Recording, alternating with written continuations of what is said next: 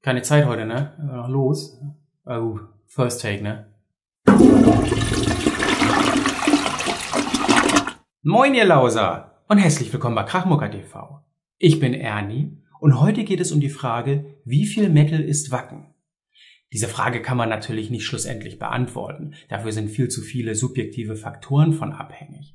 Aber vor dem Hintergrund, dass ich 1998 das erste Mal und dann 2000 in Wacken gewesen bin, dann viele Jahre nicht und mich erst dieses Jahr wieder rangewagt habe an dieses, ja, wirklich unglaublich große Festival, muss man natürlich auch zu wissen, wo ich mich normalerweise zu Hause fühle. Grundsätzlich am liebsten zu Hause. Aber wenn ich auf Festivals gehe, dann gehe ich auf Festivals wie das Partisan, wo man einmal im Jahr wirklich dann alle auf einen Haufen trifft, die man das ganze Jahr über sonst nicht geschlossen auf die man nicht geschlossen trifft, ne? Oder du gehst aufs Keep It True, wo ich dieses Jahr das erste Mal gewesen bin. Das Chaos Descent, so mitten im Wald ohne Handy äh, empfangen. Auch eine ganz tolle Sache.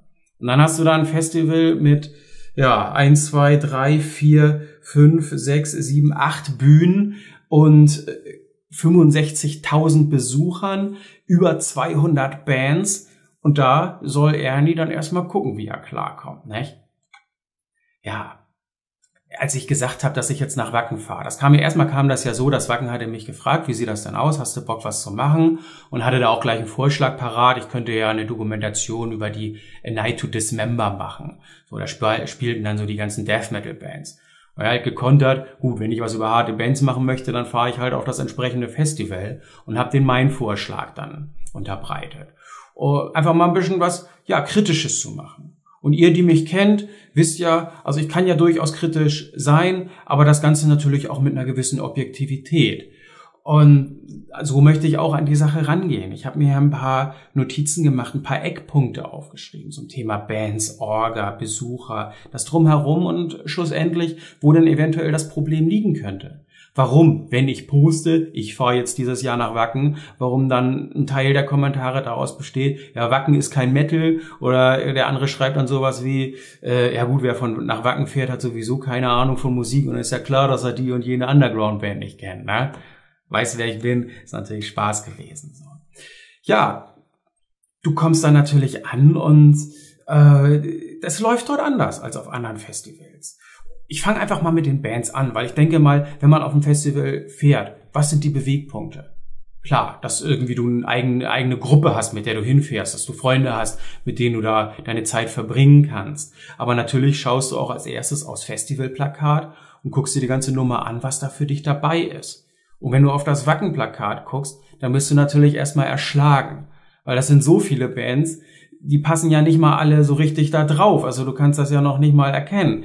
Ähm, und es sind so viele Bands, dass du natürlich im Grunde genommen aufgrund dieser Vielfalt, wenn du den Metal hörst, eigentlich irgendwas finden solltest. Und wenn ich jetzt mal ganz nüchtern das Plakat betrachte, dann würde ich sagen, und auch, da kannst du auch die letzten Jahre mit dazu nehmen, dann ist es grundsätzlich, wenn man die Frage zugrunde stellt, ist, wie viel Metal ist Wacken, dann kann man zumindest schon mal sagen, okay, Wacken ist ein Metal-Festival weil dort spielen hauptsächlich Metal-Bands. Jetzt natürlich die Sache, das siehst du dann vielleicht anders. Was macht für dich jetzt ein Metal-Festival aus? Es ist natürlich klar, ein Metal-Festival ist jetzt nicht dadurch definiert, dass 80 Prozent äh, War-Metal-Bands aus Brasilien mit am Start sind. Wenn du so daran gehst, dann ist das vollkommen klar. Metal ähm, Wacken hat natürlich in erster Linie, und das hat sich über die Jahre natürlich immer weiter, ich sage jetzt mal verfeinert, äh, an eine größere Masse gerichtet. Das heißt, du hast dort nach oben hin ohnehin den Mainstream, aber auch schon in der Mitte und äh, weiter nach unten schon eher, ich sag mal so, wenn es nicht nur die angesagten Bands sind, zumindest, ich sag mal, die angesagten Genres. Weil das muss ich im Vergleich schon sagen, das habe ich festgestellt. Wenn ich an 98, 2000 zurückdenke, jetzt gerade das, was ich gerne höre, so im Black Metal Bereich, da war dann doch in den Jahren, wo ich anfangs dabei war, mehr Interessantes für mich. Das hat dieses Jahr ein bisschen abgenommen. Da hast du natürlich so Dark Funeral oder Cradle of Filth. Und es ist vollkommen klar, äh, wenn man Black Metal hört, dann fährst du nicht als erste Wahl nach Wacken. Das möchte ich klarstellen. Aber ich hatte schon den Eindruck, dass du da, äh, dass das noch ein noch eine etwas andere Auswahl so ein Bands war. Das ist dann dieses Jahr doch teilweise für mich auch schon arg an einer Schmerzgrenze zu mainstreamig. Aber das muss man dem Wacken dann auch wiederum anrechnen. Ich stehe überhaupt nicht auf Conteste. Ich finde, dass so etwas wie Kunst und Emotion nichts mit Wettbewerb zu tun haben sollte. Aber wenn das Wacken Bands aus exotischsten äh, Winkeln dieser Welt die Möglichkeit gibt, mal auf einer großen Bühne aufzutreten, dann finde ich das toll. Und da gibt's dann für mich auch gar nichts so dagegen zu sagen. So. Dieses Jahr, ich möchte gar nicht so jetzt äh, den Fokus nur auf dieses Jahr sehen, sondern versuchen, so ein das generell zu beantworten. Dieses Jahr war für mich vor allen Dingen interessant, das ist jetzt so ein Ausreißer, würde euch wahrscheinlich dann wundern, aber das war ein Bodycount. Einfach weil ich mit Bodycount früher groß geworden bin und das war so, so eine Schnittmenge zwischen mir und meinem Bruder, der eigentlich nur Hip-Hop gehört hat und ich nur Metal. Aber Bodycount fanden wir beide geil. Ja, und dann hast du dir das halt angeguckt. An dem Beispiel kann ich aber auch ein erstes kleines Problem, äh, beziehungsweise eigentlich schon das große Problem verdeutlichen. Es gibt in Wacken viele Bühnen. Zum einen die Faster und Harder Bühnen, das ist diese Doppelbühne, ne? also äh, die ganz großen, wirklich für die Main Acts. Dann daneben ist die Lauder Stage, das ist, das befindet sich dann alles so in dem Infield. Und dann gibt es so für die Special-Geschichten dann noch eben also Ballhead, Ballhead, äh, Bullhead, Entschuldigung, wir machen First Take heute, ich bleib dabei. Bullhead City Circus, das ist dann in einem Zelt, sind das nochmal zwei Bühnen nebeneinander. Da passen ungefähr, hatte ich jetzt letztens gehört, 15.000 Leute rein. Dann gibt es noch so die, die Wasteland Stage und die Biergarten Stage. In der Biergarten Stage hast du dann wirklich so, ich glaube, das äh, kann man schon, äh, ja, wahrscheinlich etwa, ich sage jetzt einfach mal ein bisschen abfälliger, das ist so ein bisschen mehr Volksfestcharakter. Und ähm, so eine, eine kleine, wirklich kleine Bühne, auf der ich im Grunde genommen so den besten Gig miterlebt habe, nämlich die Night to äh, Remember Stage müsste das sein. Da passten, lass mich lügen, vielleicht 400 Leute rein. Da habe ich The Crown gesehen. Das war die einzige Bühne, auf der ich wirklich genießen konnte, eine Band mehr anzugucken und mit einem wunderbaren Top Sound. So, und jetzt wollte ich ja gerne Buddy Count sehen. Und äh, mein Bruder hatte leider nicht die Möglichkeit mitzukommen, also war ich dort auf mich alleine gestellt und hatte mich im Gegensatz zu allen anderen Bands, wo ich echt gesagt habe, ach, kann das Spaß hier, jetzt habe ich versucht, mich vorzukämpfen. Also, und dann bist du in diesem Infield, auf der Hauptbühne, nachmittags und möchtest Bodycount sehen. Und je weiter ich mich vorgekämpft hat, hatte ich das Gefühl, das ist wie dieser Kameraeffekt, dass ich mich eigentlich immer weiter wegbewege oder keinen Schritt näher komme. Ich komme einfach nicht näher. Und den Eindruck hatte, dass das Verhältnis zwischen dem Standpunkt, wo ich stand und die Bühne gesehen hatte, auf Partisan-Verhältnisse dem entsprochen hätte, wenn dort die Bühne ist, ich mehr oder weniger auf dem VIP-Zeltplatz gestanden hätte.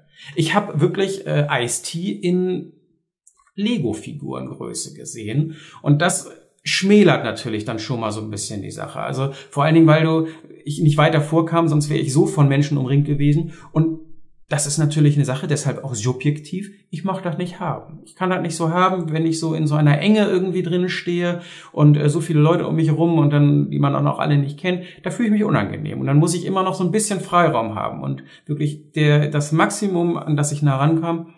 Ja, und dann fragt man sich natürlich, da fährst du auf so ein großes Festival und dieser Eindruck hat sich dann leider auch über die Zeit äh, bestätigt. Ich war von Mittwoch bis Samstag da. Am Mittwoch bin ich mit Michael Göre mit unserem Programm Schnack or Die aufgetreten. Das war ganz fantastisch. Das hat richtig Spaß gemacht. Stimmt, das war noch eine weitere Bühne für die, ja, so für die äh, Poetry Slam Sachen, für die Erzählgeschichten, das, äh, da passten unter dir, das war so ein Pavillon, da passten 200 Leute vielleicht hin. Da denkst du, so spielst jetzt in Wacken und so, Minimum 1000 Leute kommst da an und dann, nein, nein, das hat richtig Spaß gemacht. Also mit dem Publikum, wir hatten da ja noch die Unwetterprobleme. War schön. Da hatte ich dann auch wirklich Mittwoch, Donnerstag war ich auch richtig, ja, da, äh, da hatte ich Spaß. Das war toll, so auf dem Gelände zu sein. Und ich war, wir sind äh, angekommen, haben unser Zelt aufgebaut, sind dann erstmal so äh, über die ganzen anderen Zeltplätze da gelaufen, ist natürlich diese, diese Größe und es sind natürlich die Wege. Die waren jetzt für uns nicht ganz so schlimm, weil wir halt den Vorteil hatten, da VIP zu sein. Ist aber natürlich auch, also VIP ist wirklich auf einem Festival wie Wacken nochmal eine ganz andere Dimension, als wenn du jetzt wirklich auf dem Party sein. Ich, ich ziehe es immer als Beispiel ran, weil ich denke, das ist das Festival, was ihr dann noch als nächstes kennt, ähm, was dann einfach eine andere Größenordnung hat. Und da ist mir dann auch, und da kommen wir dann zum Punkt, Besucher aufgefallen, so schlimm ist das ja gar nicht. Ich habe immer dieses Wacken- und Zirkusveranstaltung im Kopf gehabt und hatte da echt schon Sorge. So, so von Mittwoch bis Samstag sollst du jetzt da sein und hast nur Leute um dich rum, die du, ja, wo du wahrscheinlich einfach nur eine Krise kriegst irgendwann.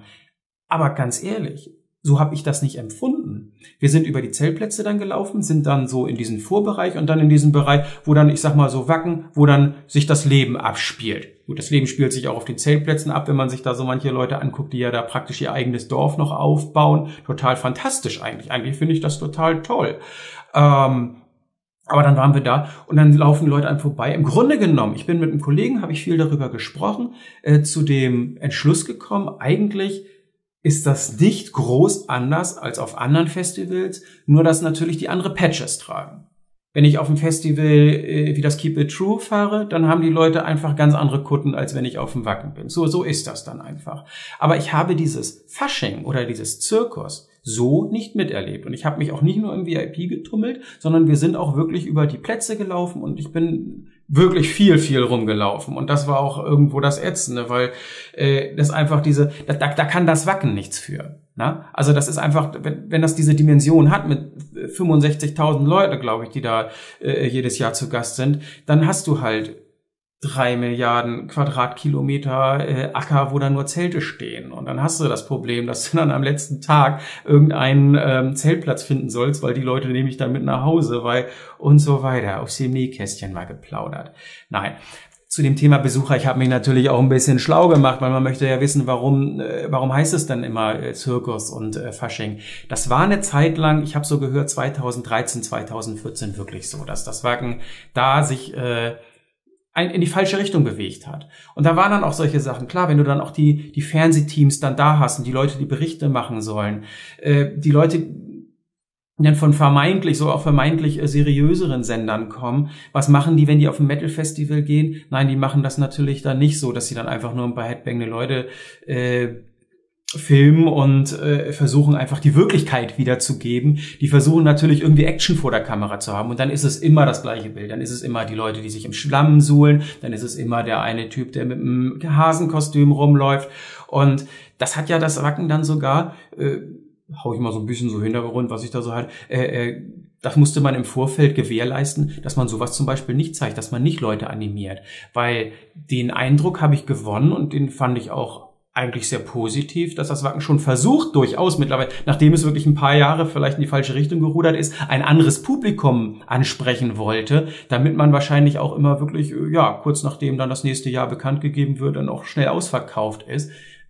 Einerseits vielleicht verständlich, andererseits da haben wir natürlich auch einen weiteren Knackpunkt. So, was ist denn Metal? So, seitdem ich so dieses Krachmucker-Ding mache, beschäftige ich mich ja so ganz verstärkt damit, was so eine Szene denn ausmacht und was Metal ausmacht. Davor war das für mich immer eine klare Sache. Das war meine kleine Blase, das ist so mein Horizont. Aber ich lerne ja ganz viele Leute kennen und auch auf die Festivals, wo ich sonst so gerne hingehe. Da sind ja auch nicht alle genauso wie ich. Die haben ja auch verschiedene Meinungen und da unterhält man sich.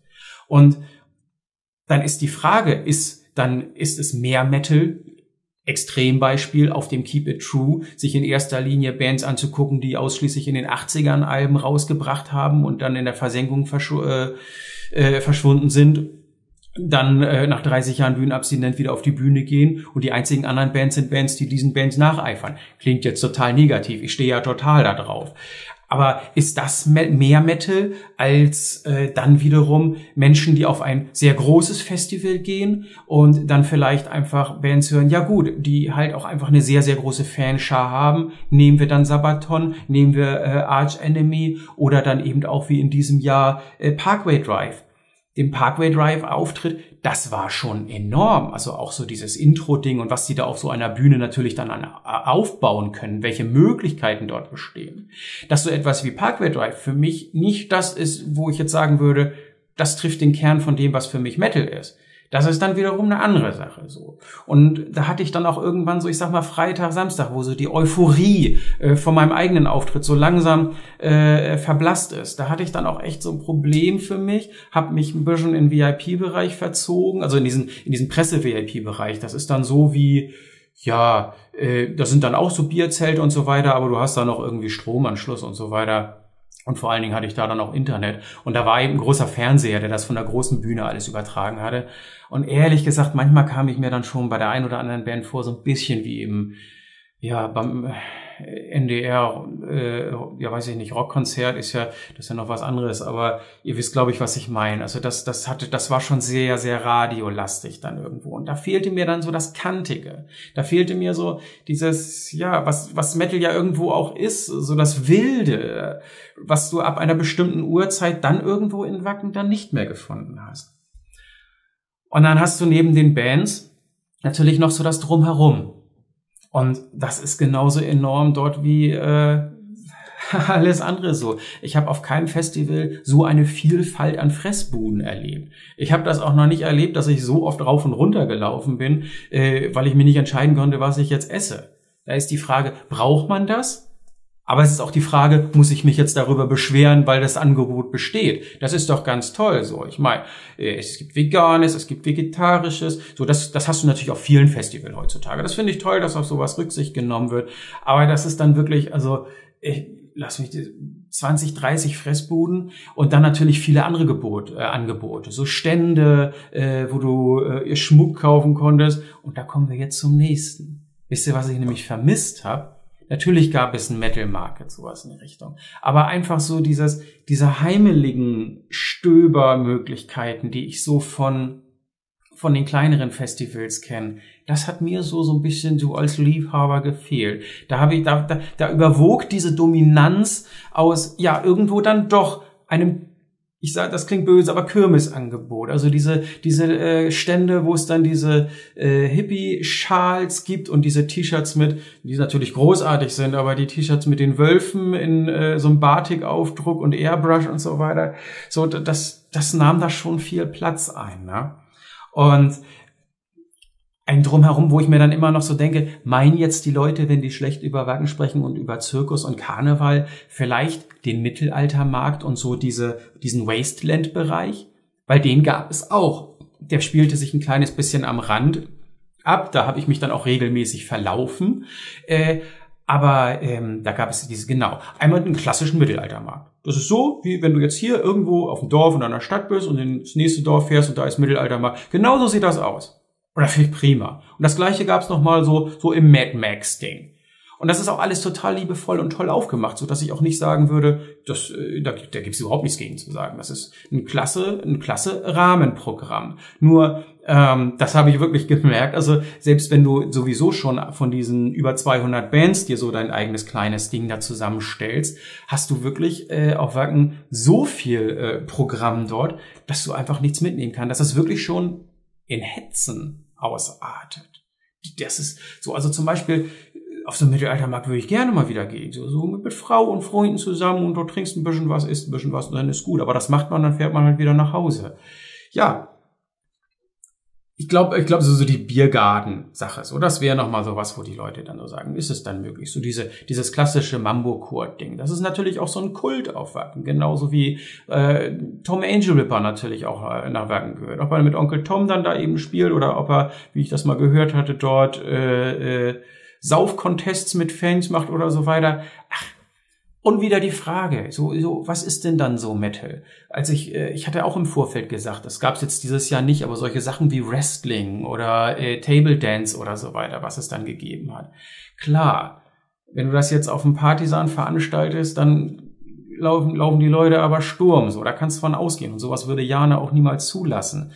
Aber irgendwie, ich meine, Wrestling finde ich ja eigentlich so auch geil. Und so Table Dance ist jetzt auch nicht so, dass ich Frau äh, das ist dann halt so ein bisschen hier, wie das hier, vom Dust Till Dawn äh, Flair oder so. Das geht dann auch klar.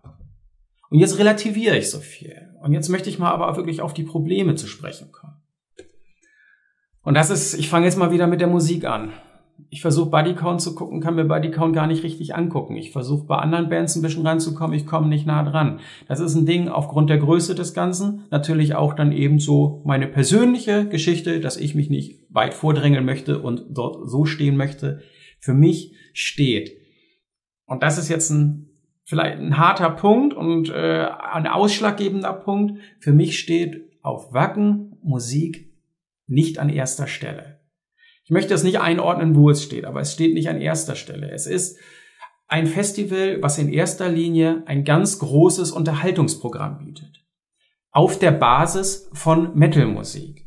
Und ich möchte da jetzt nicht den ähm, das Programm äh, noch mit einbeziehen, was sich äh, vor dem äh, vor dem ähm, ähm, Eintrittsbereich äh, Wacken stattfindet, also was dort im, im Dorf passiert. So, das hat sich auch komplett verändert zu 98. 98 war da der Edeka-Markt. Da haben sich alle getroffen, sind dann nach Wacken zum Festivalgelände gepilgert. Mittlerweile ist das ein riesengroßes Straßenfest. Aber das ist dort alles kostenlos. Da sind einfach, da dürfen Touristen auch sein. Das finde ich auch vollkommen in Ordnung. Die Leute, die dort die Metal-Bibel und das Ding da verteilt haben, das war so eine, äh, das war eine äh, witzige Angelegenheit so. Aber ähm, jetzt komme ich kurz raus.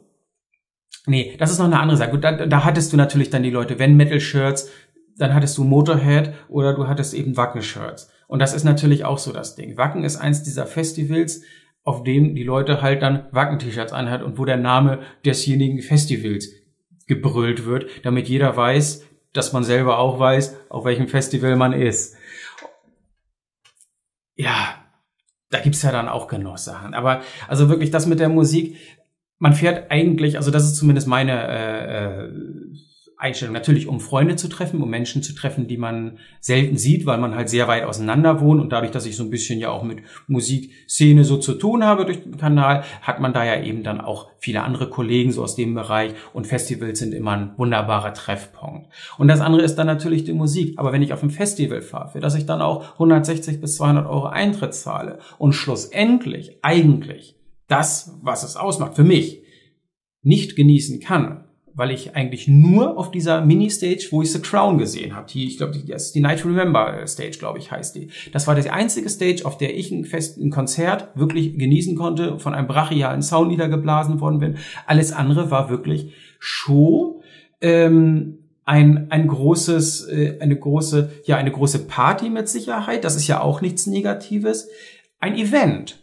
So. Und vom gesamten Image hatte ich gesagt so, äh, da ich hab, wir haben uns ja im Vorfeld viel unterhalten, so dass wir auch so ein bisschen auf so einen gewissen Kernpunkt kommen, äh, um diese Frage, äh, wie viel Metal ist Wacken, äh, beantworten zu können.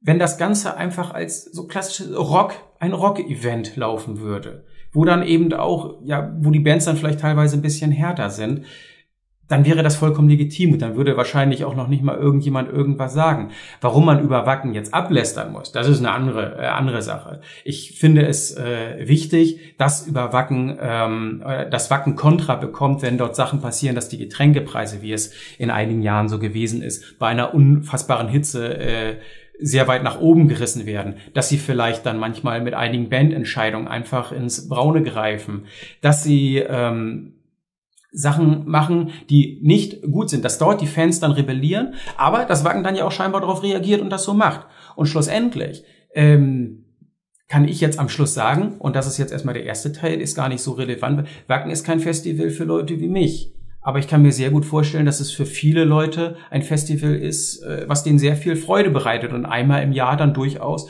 für die ein tolles Event ist.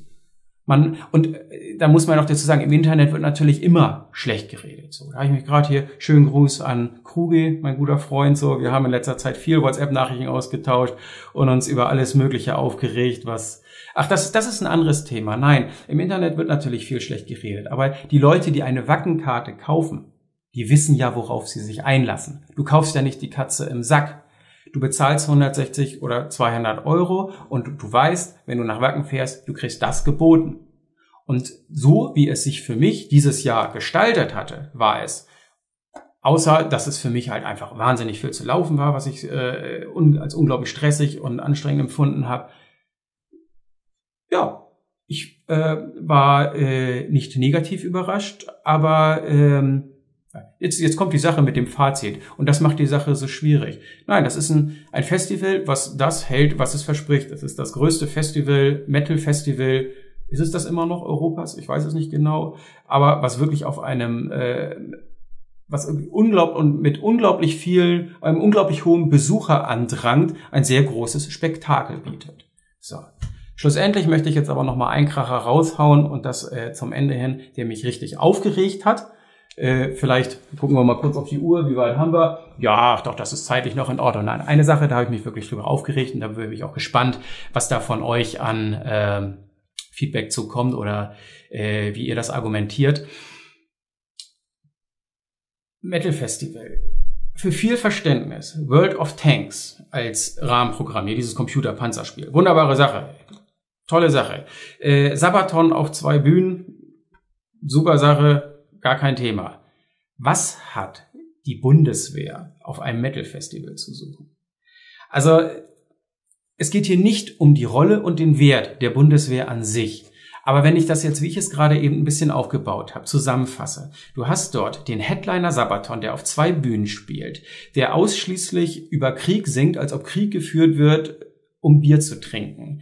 Du hast dort ein Kriegsspiel wie World of Tanks.